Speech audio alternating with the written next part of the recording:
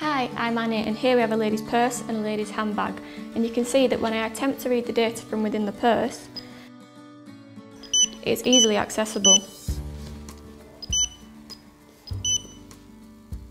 When inserting the defender note, you need to ensure that all of your cards are protected. For this particular purse, I'm using two £50 note sizes to cover the cards on both sides.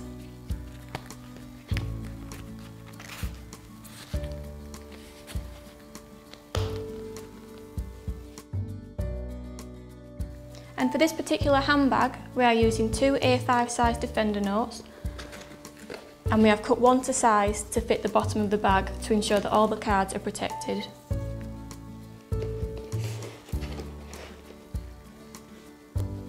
This will vary depending on the size and shape of your handbag. After inserting the defender notes, you can see that when we attempt to read the data from the cards within, nothing can be read